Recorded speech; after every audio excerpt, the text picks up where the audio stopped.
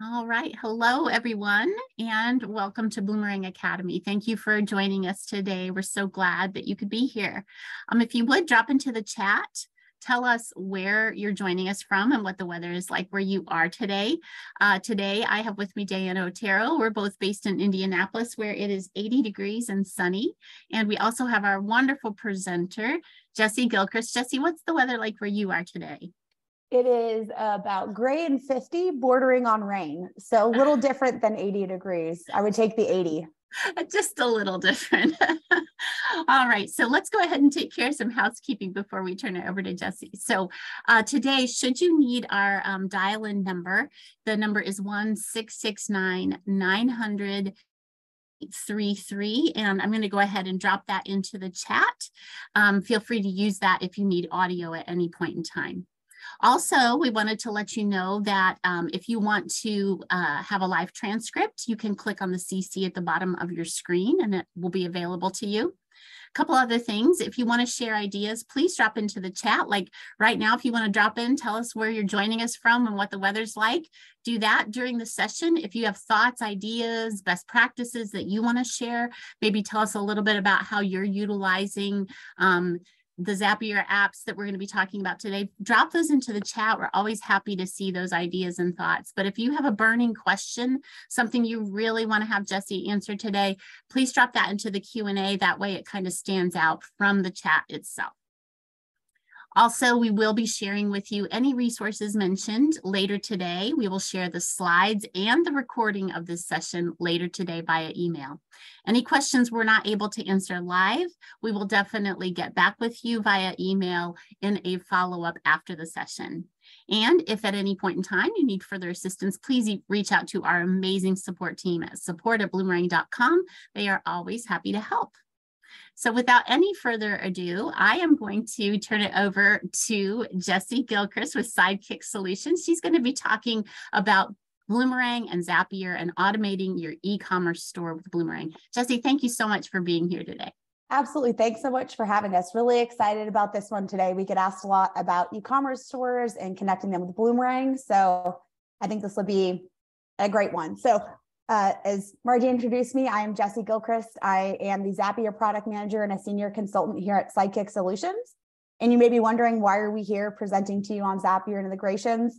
And we have been Bloomerang users since about 2013. And most recently, we're also a part of the Bloomerang team that launched the Bloomerang Zapier app.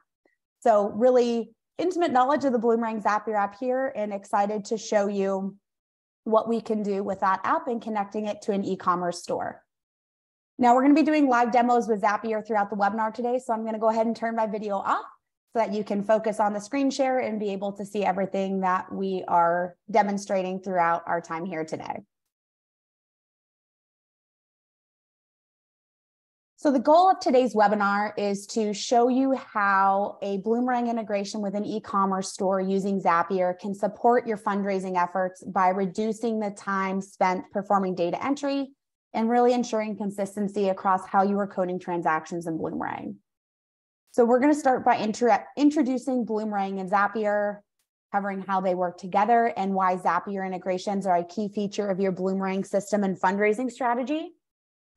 We're going to explore and demonstrate how you can use the Bloomerang Zapier app to sync transactions or orders from your e-commerce store to Bloomerang, how you can dynamically code the fund campaign or appeal in Bloomerang for the line items in your order, and even how you can account for shipping charges in Bloomerang. And then we'll wrap up by talking about how you can get started with Bloomerang and Zapier.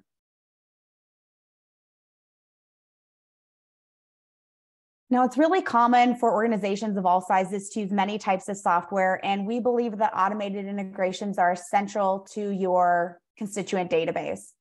Integrations can help connect these systems, creating a tech stack that supports your organization and its strategic goals. And this is where Zapier comes in. As some of you may not be familiar with Zapier, we want to start with a high level overview of what Zapier is and why we believe it's a key feature of your Bloomerang system and fundraising strategy. So Zapier is an automation software that enables additional Bloomerang integration and fundraising opportunities. It's really a middleware that sits in between Bloomerang and other apps you use, helping them talk to each other. The Bloomerang Zapier app extends the power of your database by enabling integration with over 5,000 other applications in Zapier's directory. And the best part is that Zapier was designed for anyone to build an integration. You don't need to be a developer or know code to build your own automation in Zapier. The flexibility of the Zapier platform enables custom integrations, meaning that you aren't limited to a one size fits all workflow, mapping, or formatting. And you can build integrations that are perfect for your organization and your workflows. Integrations are a key feature of your Bloomerang database and can really take your fundraising efforts to the next level. With this model, data should flow in and out of your Bloomerang database, connecting to other best in class tools your organization uses. And by keeping Bloomerang as a central hub of your tech stack, you'll create a global record of constituent engagement with your organization and centralize your reporting efforts. Now, before we dive into the actual demos with an e-commerce store, we want to do a quick poll to see how many of you are using Zapier and using it with Bloomerang. So let us know if you're using Zapier. Maybe this is the first time you've heard of it, or maybe you're currently using Zapier, but go ahead and let us know in the poll so we can get a sense where everyone is at in the room.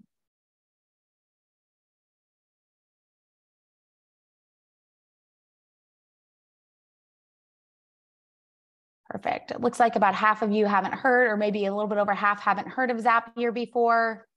Some of you have heard of it, but never used it, and only a, a couple of you have already used Zapier.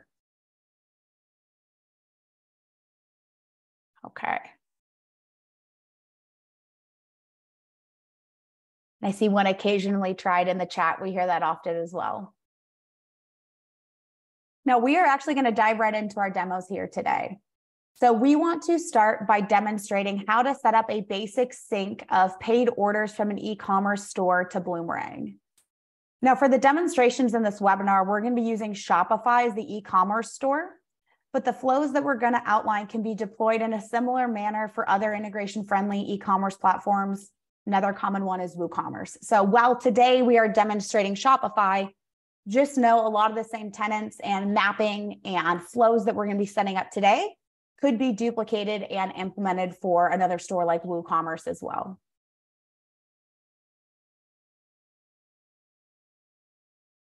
Now, when we sync paid orders in Shopify to Bloomerang, there are two primary steps. First, we need to find or create our constituent in Bloomerang, and then we want to create a donation on the timeline for the founder created constituent. So the donation is serving as that transaction record for our paid order.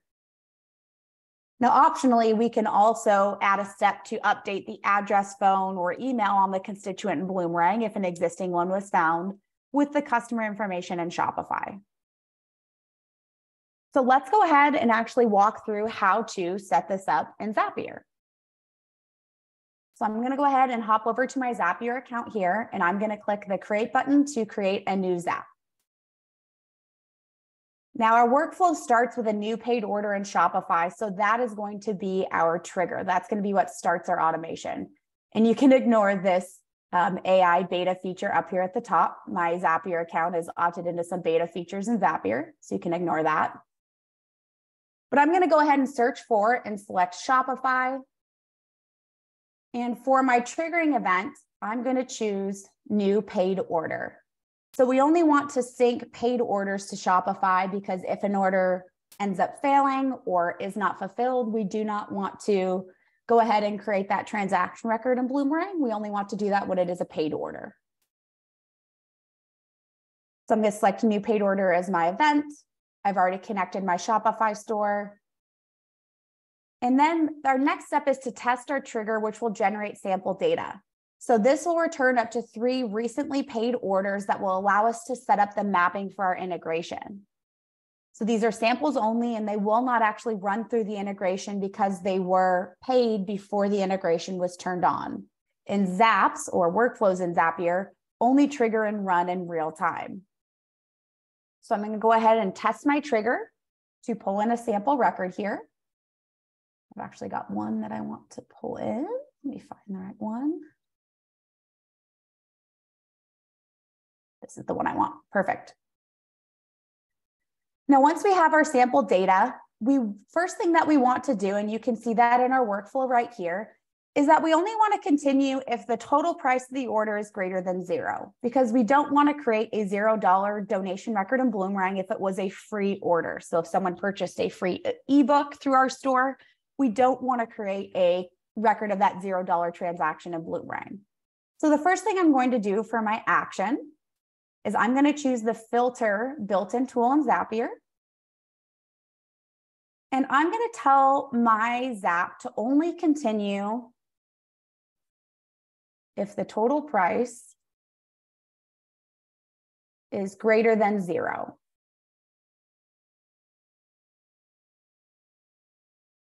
So I'm telling my automation that I only wanted to continue essentially if there was this was actually a paid order where more than one penny was exchanged between the customer and with my organization. So I'm going to click continue to go ahead and test my filter. And you can see that in this case, it's telling me that my ZAP would have continued because my total price on the sample order I've selected was $7.90. Now, after we set up our filter, we will add our next action, which is to find or create a constituent Bloomerang for the customer. So I'm just clicked the plus sign to add a new action, and then I'm going to search for and select Bloomerang as my app. And I'm going to choose find constituent as my action, so as my search. I'm going to choose my Bloomerang account because I've got two connected here. Now, the first thing I need to do is identify what type of constituent I'm looking for. So in this case, we have individuals that are making the purchases through our e-commerce store. So I'm going to go ahead and Zapier works a little bit like a mail merge where we can map in the details uh, by selecting the fields or data elements that we want to map. So I'm going to map my customer's first name, my customer last name. I'm going to map in my address. In this case, I want to use my billing address because I could be shipping this to a friend. So I want to use my billing address as the address for the customer. I'm going to pull in my customer's phone number and my customer's email address. Now, if you do happen to receive orders for organizations in an e-commerce store, there is advanced functionality that can be used to support the searching of a constituent that is an organization or an individual. We're not going to cover it in this demo today, but there are ways to support that um, if you if you do accept orders uh, made by organizations as well. Now, when we're doing this search, we're going to leave these two fields down here, which is to include the constituents giving history and household information. We're just going to leave these blank because we don't need this information in our automation. And then what we're going to do at the bottom is we're going to check this box that says create a Bloomerang constituent if it doesn't exist yet. What this is telling our automation is that when this search is performed, if it doesn't match to an existing constituent in Bloomerang, we want the automation to go ahead and create a new one. Now, this search is fairly smart. Most of the time, it's going to match to existing constituents if one does exist, because it's searching on name and different combinations of contact information. So I'm going to go ahead and map my fields again for if I were creating a new constituent. So I'm going to say that here's my customer first name, oops, customer last name. I can leave my informal, formal envelope and rec recognition names empty because Bloomerang will automatically generate those for me using the first and last name. I'm going to come down and map in my address. So I'm going to choose my address type of home. If you're mapping in an address, phone, or email, the type fields are required. So I'm going to go ahead search for my billing address, and I want address line one and address line two, if that happens to come through. I'm gonna map my city. And again, as a reminder, I'm using my billing address here, not the shipping address, because I want to ensure that I am mapping the details for the purchaser, not for whomever they are actually shipping the product to or shipping that order to.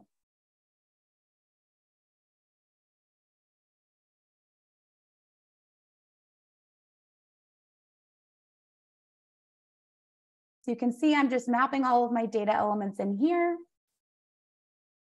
Map in my country. And then we're gonna do the same for email and phone.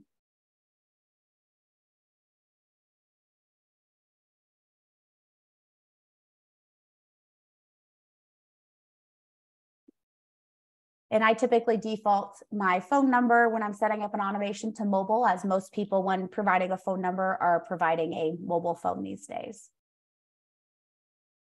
So I've gone ahead and mapped all of my data. If I wanted to, I could map to any of the custom fields I have set up in Bloomerang as well, or I could code a field if I have certain attributes that I like to be coded for individuals who make orders through my e-commerce store, I could do that as well.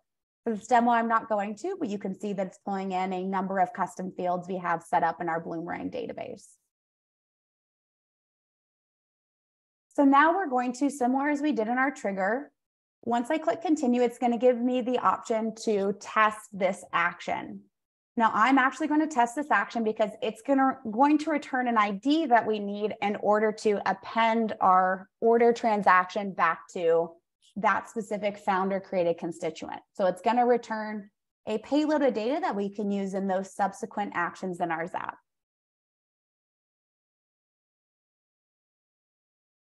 So I see a good question here I'm actually going to tackle before we move forward. A question is why not track zero value orders because we don't want to track this as an interaction with an existing constituent or potentially could be a new constituent? So that's a great question. So then for this demo today, we are not syncing zero dollar orders, but yes, your organization could for a zero dollar order create an interaction in the timeline of the constituent or choose to just do a find create and ensure that that constituent is reflected in your Bloomerang database. So there are ways to account for zero dollar orders in Bloomerang. For the flows we're setting up here today that are focused on the sync of that payment from the e-commerce store to Bloomerang, we are filtering out those zero dollar orders so that you're not getting a zero dollar transaction record. So coming back to my find or create constituent, you can see that again, it's giving me all of this information about the constituent that it matched to. In this case, I know it matched because I have this constituent in my database already, but it's giving me all this data back for my constituent. So what we're going to do next is we're going to go ahead and create that donation record in Bloomerang to track the paid order. So I'm going to choose Bloomerang as my app again, and this time I'm going to choose create donation. Continue.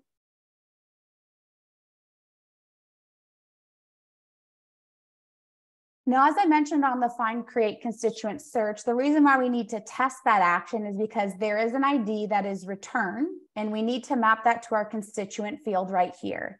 Because that ID is what is telling our automation that we want to append this donation to the timeline of the specific constituent that we found or created in our prior step.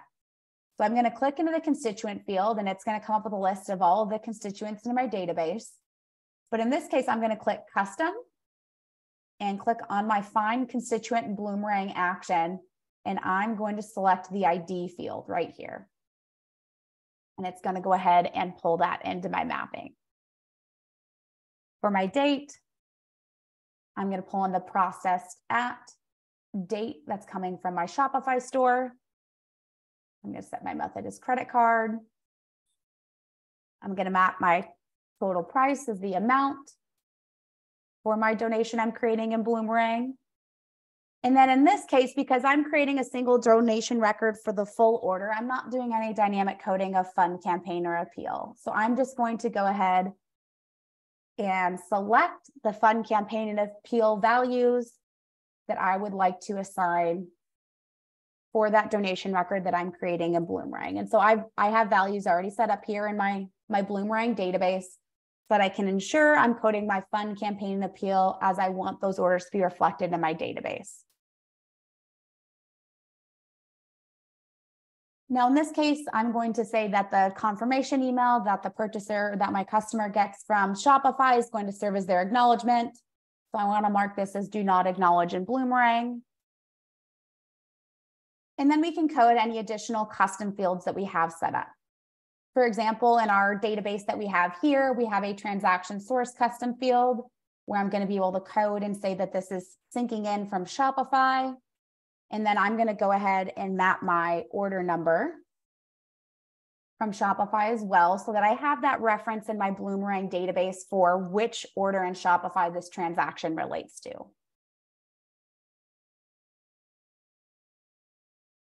Now, similar to our last step, we can go ahead and test this action. If we test this, it will actually create the donation record in Bloomerang. You'll see I'll test this and it, it is helpful because it'll give you that confirmation back that your donation was created successfully. You then can obviously go into Bloomerang and if you do not want a record of that donation, you can always delete it. Now, if we didn't want to update existing constituents at this time, we could go ahead and click publish and turn our automation on. But let's say we want the address, phone, or email coming through that customer to update our existing constituents in Bloomerang. We are going to add another filter here, just as we did at the start of our Zap. And in this case, what we're going to do is this find constituent in Bloomerang step right here. If we scroll down to the, whoops, I went too far. Hidden in here. I'm going to go ahead and search for it. If we search here, there is a field that gets returned that's called that data was found. That means that our automation matched to an existing constituent. And so if we take that field, and this is a true false field, and say it's true, our automation then is only going to continue if this find create constituent matched to an existing constituent in Bloomerang. So ours did match. And when I click continue, you're going to see that it confirms our ZAP would have continued. And what we can do then is use the update constituent action in the Bloomerang Zapier app.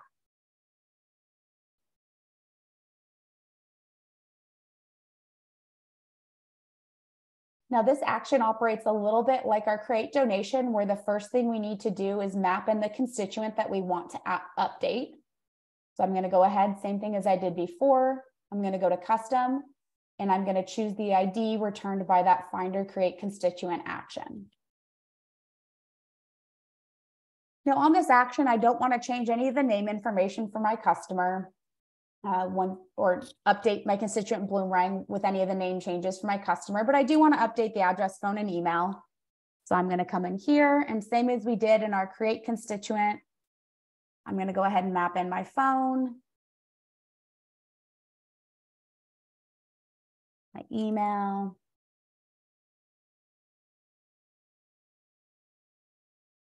And then my address. Now, one thing that I think is really helpful to know is that the update constituent action in the Bloomerang Zapier app, when we are updating address, phone, and email specifically, it will not delete any of your existing address, phones, or emails in Bloomerang. What it'll do is it'll actually search against those and if the information that is coming through your automation is new, that new information gets promoted as the primary. So becomes the primary address, the primary phone, the primary email. And any existing primary information gets demoted to secondary information. So you're not going to lose any existing address, phones, or emails. They will just become secondary contact information and the new information coming through your automation will be promoted as the primary information. Now, other fields on the constituent record, if you're going to map to custom fields or anything of that nature, those do override existing data. But for address, phone, and email, it's important to remember that this is not going to remove any existing contact information. The new information gets promoted as the primary. So with that contact information mapped, I then again could go down and test my action and then publish my automation.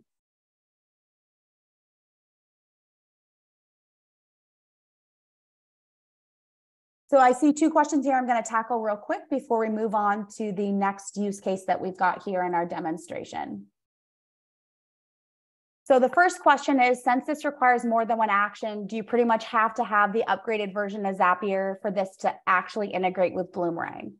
So yes, you do need the starter plan in Zapier. So that's the lowest paid plan that Zapier offers that is required to build multi-step Zaps. So there's no way to integrate an e-commerce store with Bloomerang on a free plan in Zapier. So at a minimum, you will need the starter plan in Zapier. Um, so the cheapest one there is $20 a month, but there is also a 15% discount for nonprofits that can be applied on top of that. And it looks like Megan went ahead and put that in the chat there as well. And we will be sharing that nonprofit uh, discount link here at the end of the webinar as well. So that'll be coming. And then the next question here from Vin was how accurate does the constituent name need to be? Meaning, does everything need to be 100% match or can it be a close match? So the name is looking for a fairly close match. Um, so for example, James and Jim are likely, oh, perfect. Thanks, Margie went ahead and shared that now. Um, so then the name does need to be um, pretty close. Oh, and looks like Diana actually already got it there as well. Um, so the name variations, as Diana put in the chat, um, differences in name may match based off of a preferred or common variations in nicknames, um, but things that are drastically different won't. So one of the main ones we see where sometimes we won't get a match are when the customer is making an order through an e-commerce store and in the first name field, they enter their name and their spouse or partner's name. So instead of submitting an order as Jesse Gilchrist, I submit my order with Jesse and an ampersand and Jeremy in the first name field.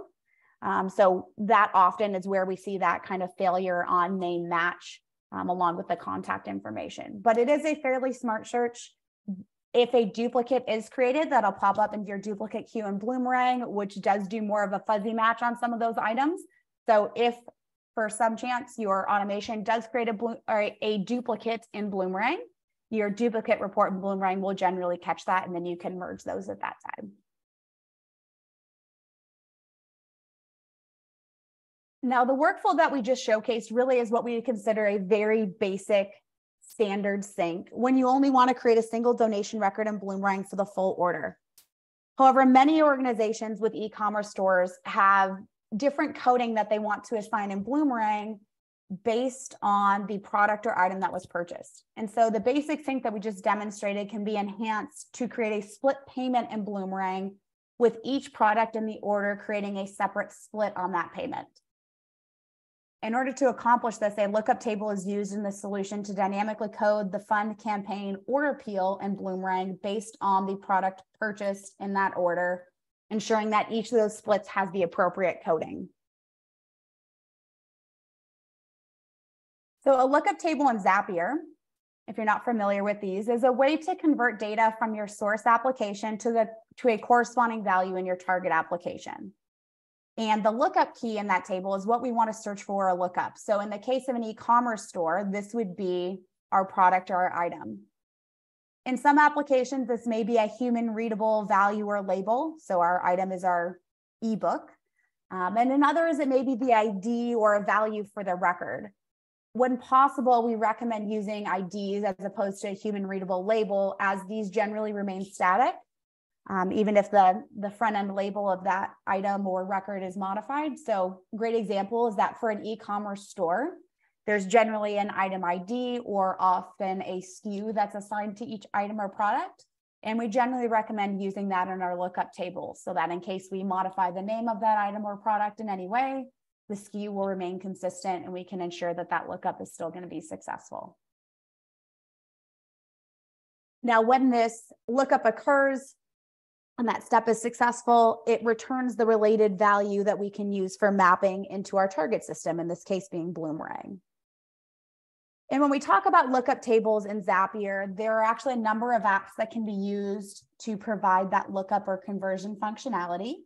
But when it comes to automating the sync of paid orders in Shopify or any other e-commerce platform to Bloomerang, you actually will want to use Formatter by Zapier. Now, Formatter by Zapier is a completely free app in Zapier's marketplace and can be used to create the lookup table. Um, and the reason why this is the lookup table that we recommend for syncing of an e-commerce store is because it provides what's called line item support, meaning if we have multiple items in our order, it's going to go ahead and cycle through each of those items in our order to return the appropriate values for each item. Not all lookup tables will support that. And the other piece it allows us to do is it allows us to assign a fallback value if the item we're trying to look up is not found in the table. So if you're adding new products into your store and you forget to add it to the lookup table, a default value can be returned to ensure your automation continues running successfully.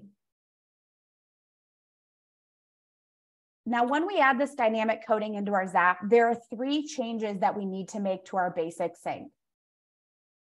First is that instead of our initial filter saying that the total price is greater than zero, in this case, we want our filter to say that our total line item price is greater than zero. So that in case there was free products that just had shipping associated, our Zap, we don't want it to continue in that case. We'll cover shipping here after this flow.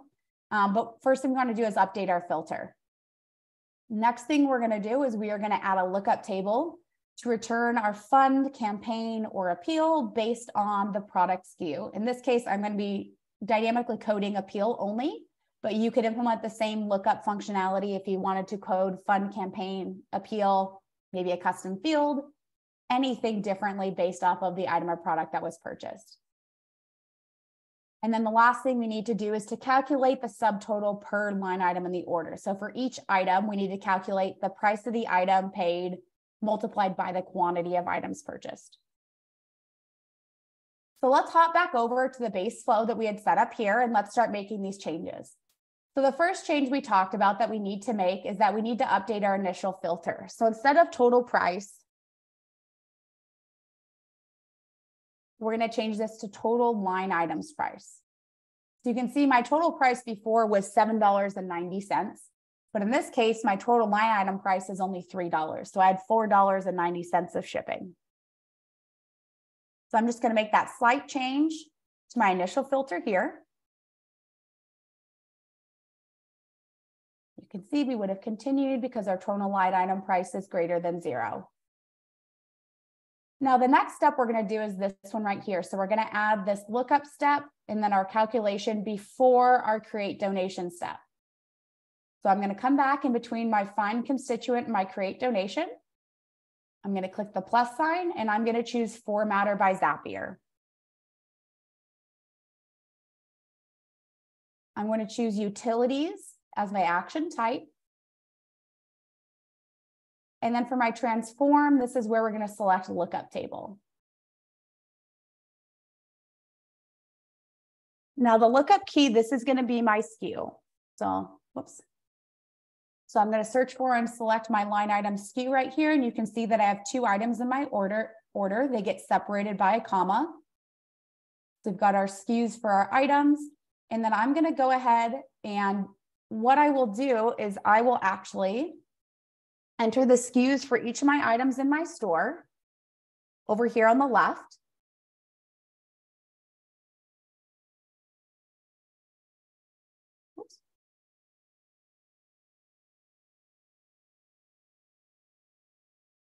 And then it's important to note that if you have variations on your item, um, this would actually be the SKU for the variation.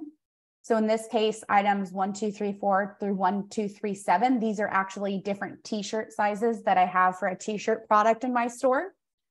So you'll want to actually add the SKU for each of those variants because that's the SKU that'll be returned here in our trigger.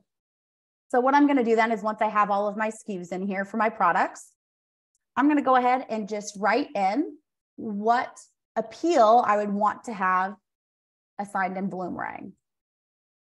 So all of my t-shirts are going to get an appeal of apparel.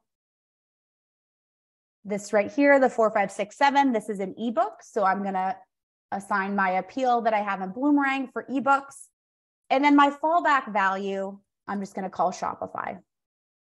Now, it's important to note that these values I'm entering for Bloomerang actually need to exist in Bloomerang already. So in my Bloomerang database, I already have appeals set up for apparel, I have one set up for ebooks, and I have one set up for Shopify as well.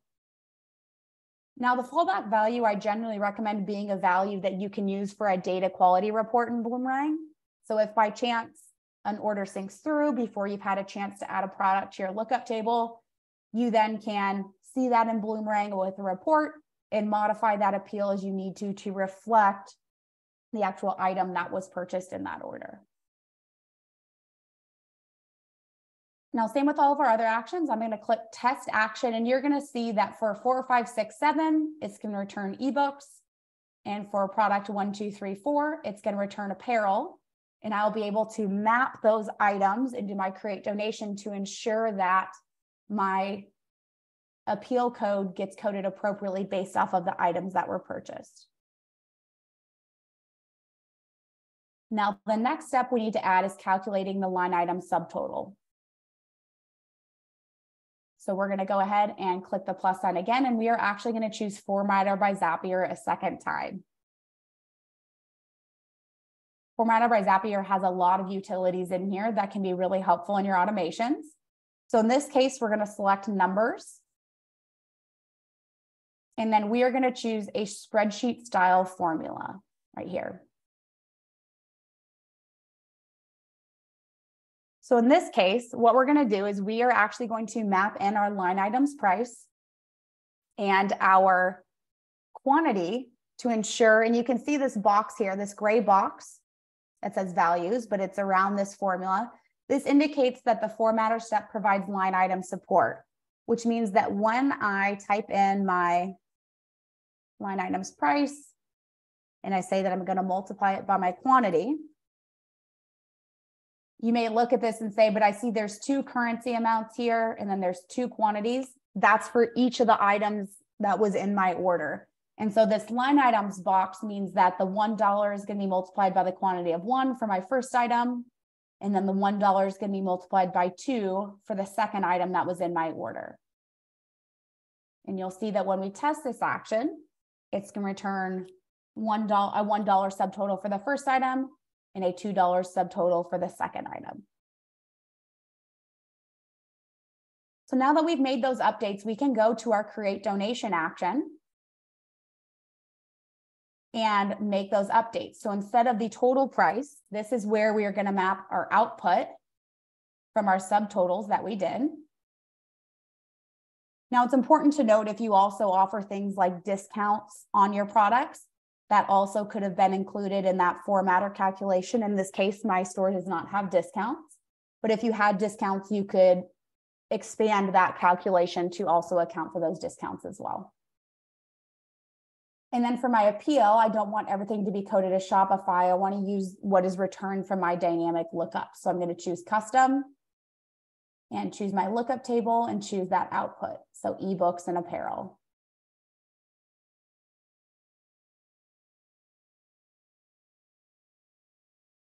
And again, all of our other details are custom fields, our funding campaign, those can all be the same value across all of our splits. And so I don't need to make any changes to those. Now, if we had tested this and created a donation in Bloomerang, I actually want to show you what this will look like because I think it's helpful to see the illustration of what this actually look, looks like when we say it provides line item support.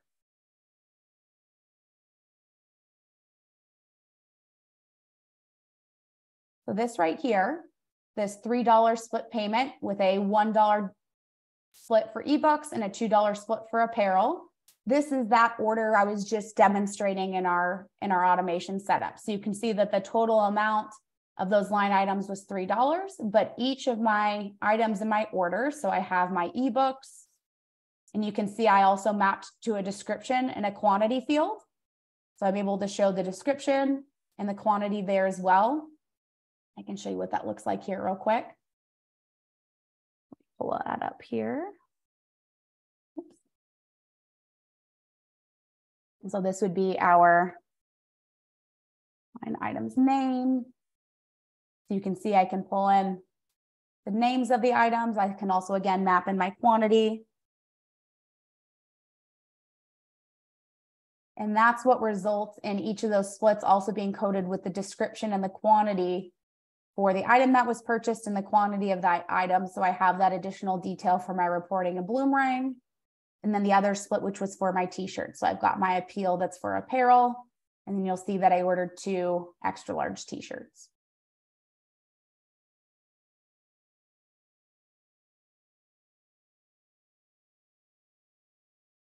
Now, there was one other flow that I'd like to demonstrate quickly. So when we made that change to provide the, the dynamic coding based off of what items were purchased, that flow now does not account for shipping. And some organizations really like to reflect the amount paid for shipping in their Bloomerang database. So if that's the case, we can really easily set up a second ZAP that allows us to sync shipping from our e-commerce store to Bloomerang. You can do this under the starter plan in Zapier. So again, that lowest paid plan.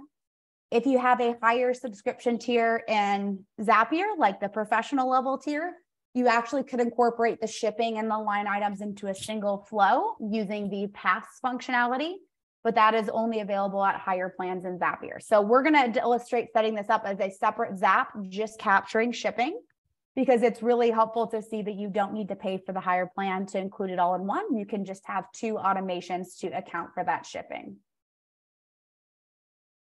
So the shipping flow is really similar to our basic thing. The difference is that our initial filter is going to be based off of the shipping total being greater than zero. If it is, we are actually going to delay the flow by two minutes.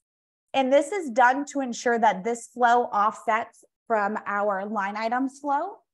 And the reason why we want that is because if this is a new customer, a new constituent in our Bloomerang database, we don't want these two flows to run at the same time and result in two constituents being created. So we're adding the two minute delay to offset this from the line item flow and ensure that then when this find create constituent action runs, it finds the constituent created in the line item flow. So again, ensuring that we're not creating duplicates in Bloomerang when we don't need to, and that delay can be really helpful to offset related zaps that will both be triggering based off of the same event. And then what we'll do is we'll create a donation for just the shipping. So we're gonna hop into Zapier and set up our Zap. And what I'm actually gonna do um, to make sure we have enough time for questions here is I'm actually going to copy the one we've already been working on here and just delete out the steps we don't we don't need. So I'm going to go ahead and just duplicate my Zap.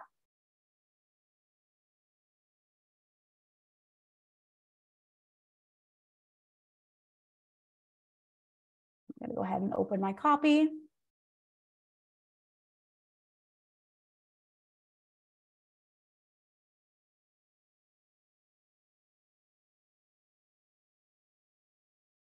Now in this flow, because we will be updating the constituent if it matches an existing one in our line item flow, we can actually delete the update constituent actions. We don't need those twice and the corresponding filter. We can delete out our formatter steps.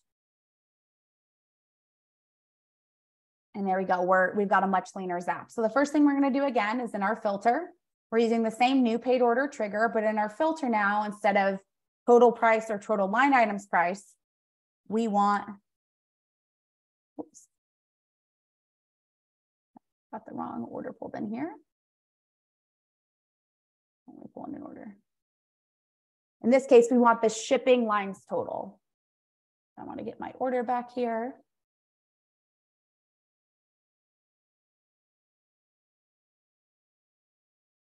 You see right here, I want shipping. Oops, that's the wrong one.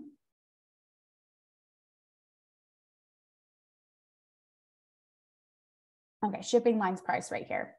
So we want the shipping lines price greater than zero. So again, we only want to continue this flow if there is shipping on the order. There's no shipping associated. The Zap is going to stop and ensure that we're not creating, again, zero dollar transaction records in Bloomerang. Next thing we're going to do is we're going to add our delay. So delay by Zapier is another built-in tool that we can use. And all we're going to do is we're just going to tell our Zap that only after it passes that filter. So only after we know that the order actually does have shipping associated, are we going to delay it for two minutes. So we don't want to run this before the filter because we don't want the Zap to delay and use a task for every order. We only want to do this for the ones that actually have shipping.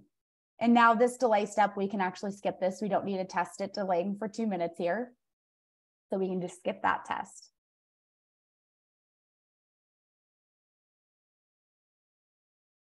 And then we can do our find create constituent. Again, everything is going to be exactly the same on this. So all of our same mapping as we did previously.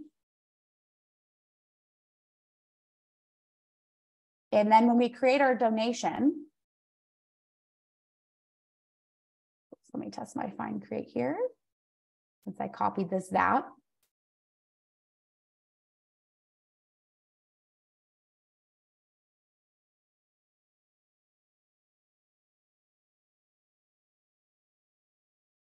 So for my amount, this is where I'm going to pull in my shipping lines price.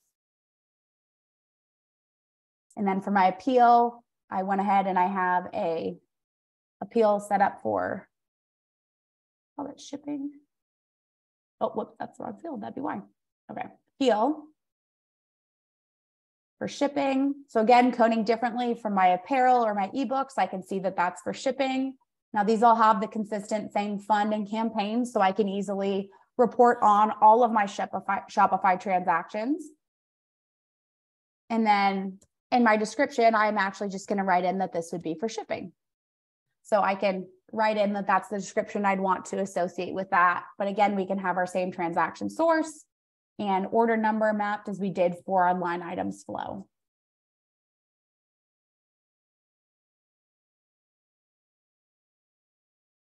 Now, in the slide deck that you'll get following today's webinar, there are screenshots of all of the, the key steps we've been setting up here today as well. So if you do try to set this up yourself, not only will you have the recording, but you'll also have some screenshots of what those different steps look like. Now, I want to quickly point out some additional enhancements that can be made to made to the flows we covered today. So obviously, as we talked about earlier, the flows can be enhanced to support both individual and organizational customers. It can be configured to support international customers, so ensuring that the address is formatted appropriately for constituents that live outside the US, Canada, or Bermuda. It can again convert Shopify data to any custom fields you have in Bloomerang and also account for discounts and tax as well. Now, getting started with Bloomerang automations is actually really easy. The first step is signing up for Zapier if you don't already have an account. All Zapier accounts begin with a 14 day free trial of what's called the professional tier functionality. Following that 14 day period, your plan is converted to the free plan until you choose to upgrade. Most automations you're going to need to run with Bloomerang will require the starter plan at a minimum because that's what's required in order to build multi step automations. Now, as Margie shared in the chat earlier, there is a 15% discount available for nonprofits. And so go ahead and pull that link out of the chat if you have not signed up for Zapier already, or if you have already signed up for Zapier, you can still apply for that nonprofit discount as well. After you sign up for Zapier, Zapier, connecting your Bloomerang database is actually really easy. You will click My Apps on the left menu of your Zapier account. You'll click Add Connection search for and select Bloomerang, and then you'll grant access to your Bloomerang database using your login credentials.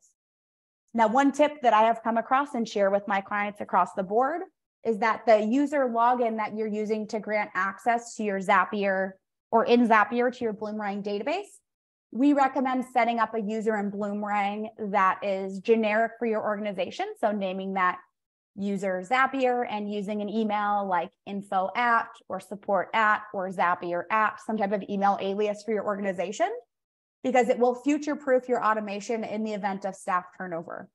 If Bloomerang is connected to Zapier using a specific team member's Bloomerang account, if that user is then deactivated in Bloomerang, it will drop that connection between Bloomerang and Zapier.